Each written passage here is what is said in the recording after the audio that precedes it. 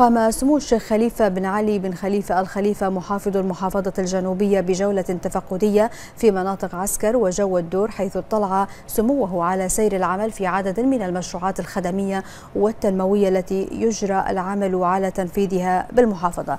أكد سموه أن النهضة التنموية والحضارية التي تشهدها المحافظة الجنوبية تأتي تنفيذا لتوجيهات جلالة الملك المفدى حفظه الله ورعاه وسمو رئيس الوزراء الموقر حفظه الله وسمو ولي العهد حفظه الله ورعاه حيث أن الأولوية دائما في جميع المشروعات لكل ما يخدم المواطن ويوفر له مقومات الحياة الكريمة.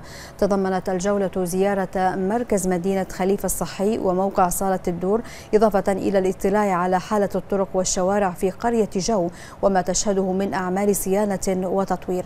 والتقى سموه بعدد من وجهاء وعيان مناطق عسكر وجو والدور واستمع منهم لعدد من الآراء والملاحظات التي تتعلق باحتياجاتهم من المرافق الخدمية والبنية التحتية.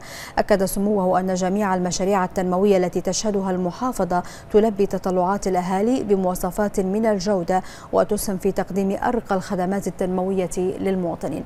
نوه سموه إلى أن مشروع مركز مدينة خليفة الصحي من شأنه أن يحقق نقلة نوعية في مستوى الخدمات الصحية والطبية المقدمة للأهالي من خلال ما يشتمل عليه من مرافق وأجهزة طبية حديثة وأقسام متنوعة. أشار سموه إلى أهمية مشروع إنشاء صالة أهالي الدور لما لها من أثر في تعزيز التواصل والتقارب الاجتماعي والذي يعد أحد السمات التي يتميز بها المجتمع البحريني عبر تاريخه الطويل.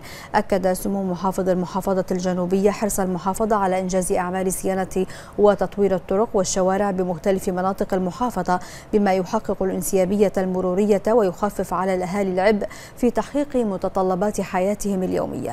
شدد سموه على ضرورة أن يكون تنفيذ جميع هذه المشروعات وفق معطيات تضمن لها الاستدامة بما يعزز من تأثيرها في تلبية احتياجات المواطنين والتوجهات التنموية بالمحافظة في الحاضر والمستقبل.